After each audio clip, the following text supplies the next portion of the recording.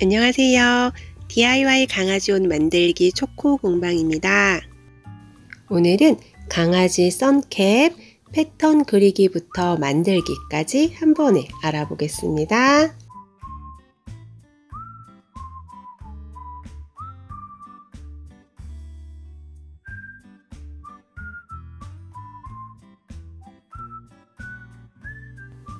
먼저 강아지 선캡의 패턴을 그려볼 텐데요. 패턴은 모자의 챙과 아래 바디 부분으로 나누어서 그려보겠습니다. 모자의 챙을 그려볼 텐데요. 우선 직사각형을 하나 그려줄 거예요. 가로의 길이는 아이의 귀 아래쪽, 양쪽 아래쪽의 길이고요. 소형견은 보통 14cm에서 15cm 정도 해주시면 되고요. 그리고 이 세로 길이는 모자 챙의 길이인데 이거는 7cm 정도 해주시면 되세요. 이 길이는 아이의 머리 크기에 따라서 다 다르게 해줄 수 있습니다. 그러니까 꼭이 사이즈 똑같이 안 하셔도 되고 아이의 길이를 측정해 주신 다음 만들어 주시면 더 정확합니다. 그 후에는 가운데 나누는 선을 하나 그려주세요. 그런 다음 가운데 아랫부분에서 1.5cm 올라간 지점 체크하시고 그 점을 기준으로 양쪽으로 마찬가지로 1.5cm씩 체크한 후에 두 선을, 두 점을 이어주는 선을 하나 그려줍니다. 그 후에는 그 선의 끝에서 양쪽 아랫부분의 꼭지점과 이어지는 곡선을 그려주세요.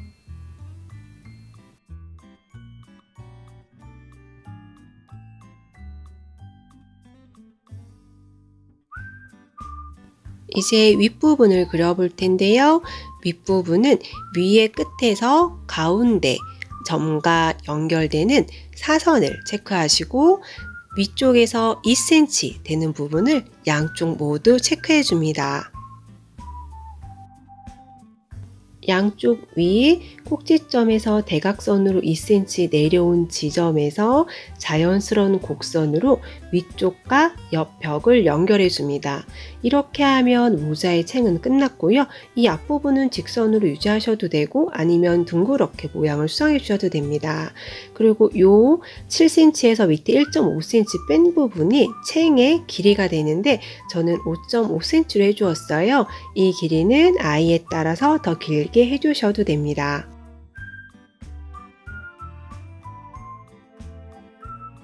이제 강아지 선캡의 바디 부분을 그려볼 텐데요. 이 부분의 가로는 위의 챙의 가로 길이에 소형견은 6cm, 중형견 이상은 8cm 더한 길이를 그려주시면 됩니다.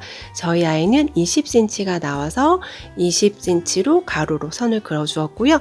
이 세로 폭은 동일하게 2cm를 해주시면 됩니다.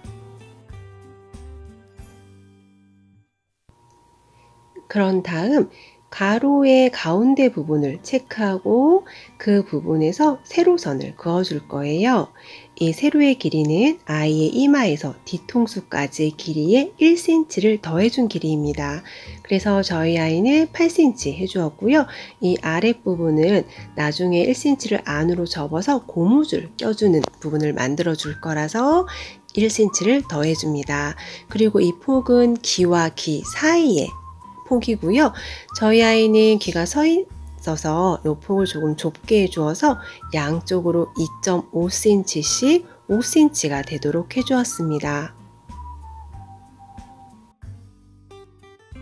강아지 썬캡의 패턴은 여기서 마무리해 주셔도 되고요.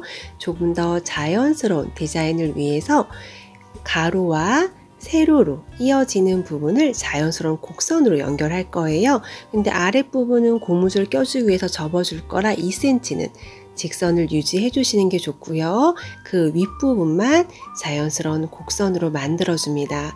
이때는 그귀 있는 폭이 살짝 파여도 상관없습니다. 귀가 파여도 아이들은 귀가 오히려 편하기 때문에 조금 더 파주셔도 좋습니다.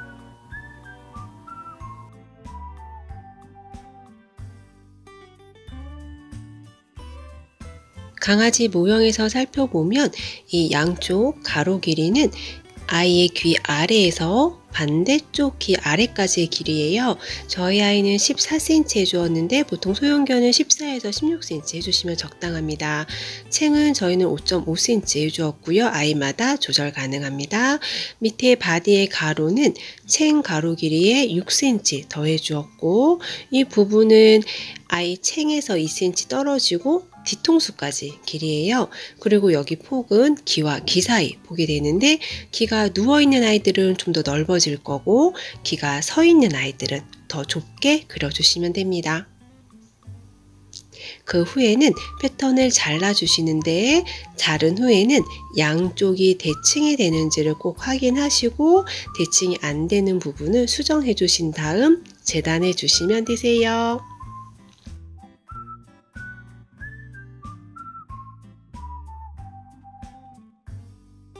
모자의 챙과 바디를 각각 두 장씩 재단해 주었고요. 접착솜은 한 장 재단해 줍니다. 접착솜은 시접 없이 패턴 사이즈 그대로 재단해 주시면 되고요. 이 접착면을 원단에 대고 다리미로 꾹꾹 눌러서 붙여줍니다. 접착솜은 겉감으로 이용할 원단의 안쪽에 붙여주시면 되고요. 이제 원단을 겉과 겉끼리 맞대어 놓고 아랫부분을 제외한 나머지 면을 박음질 해줍니다.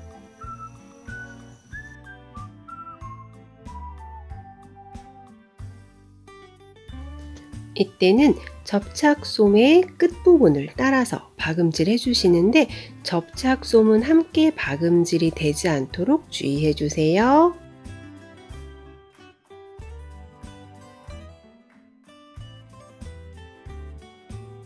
모자 앞부분 챙 박음질이 끝났고요.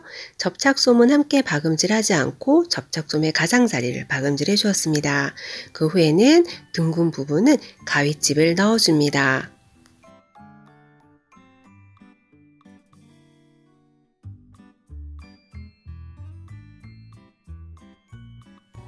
이제 뒤집어 주시면 됩니다.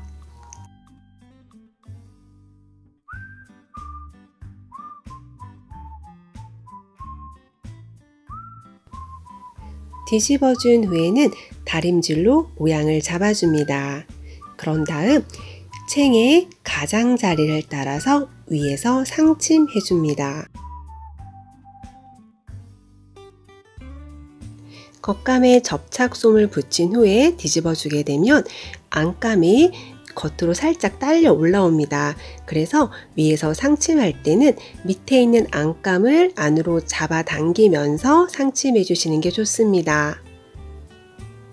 상침한 모습이고요. 가장자리를 따라서 깔끔하게 상침해 주었습니다. 이제 선캡에 몸통을 박음질 해줄 거고요. 겉끼리 맞대어 놓고 윗부분 제외하고 박음질 해줍니다.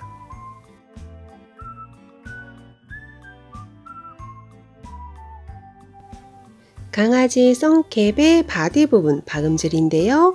윗부분을 제외한 나머지 부분을 겉길이 맞대어 놓고 모두 박음질 해줍니다. 박음질이 끝난 강아지 선캡 바디의 둥근 부분에는 가위집을 넣어줍니다.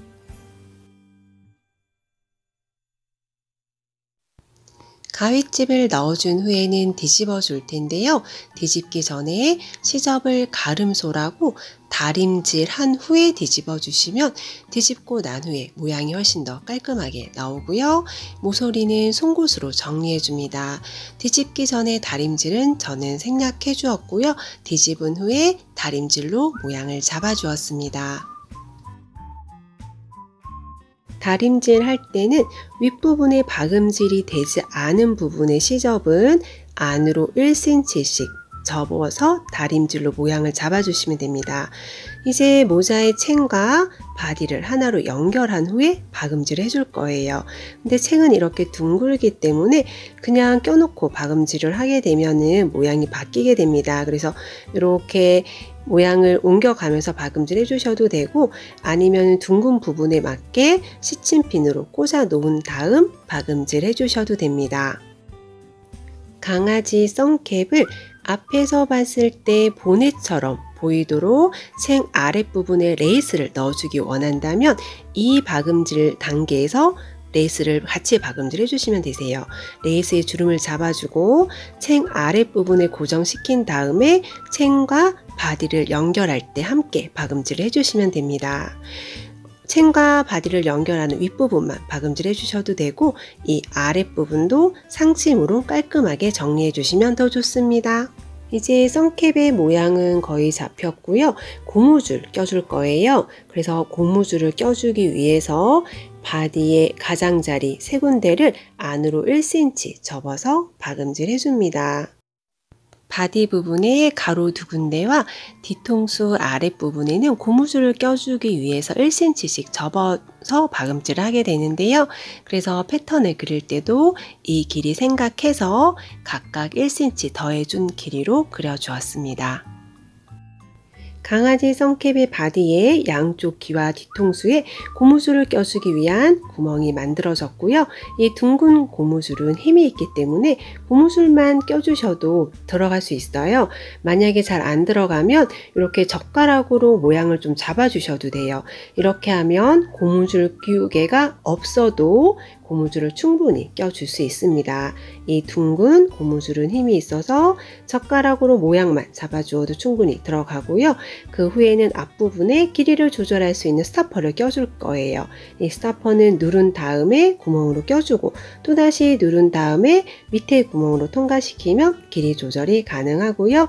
이제 나머지 부분도 모양에 맞춰서 둥근 고무줄을 껴준 후에 아이 길이 측정해서 뒤에서 묶어주시면 됩니다.